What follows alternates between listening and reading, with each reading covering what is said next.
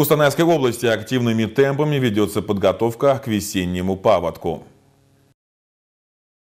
Как сообщили в Департаменте по чрезвычайным ситуациям области, готов к реализации план мероприятий по предупреждению чрезвычайных ситуаций паводкового периода на этот год. На сегодняшний день на территории городов и районных центров вывезено более 1 миллиона 100 тысяч кубометров снега. Работа в данном направлении продолжается. Осуществляется постоянный контроль за уровнем рек области и снеготаянием. Взято на особый контроль наполняемость Верхнетобольского, Каратамарского, Желкуарского, Верхнешортандинского водохранилищ и меры по своевременному сбросу паводковых вод в целях предупреждения их переполнения и создания угроз прорыва плотин.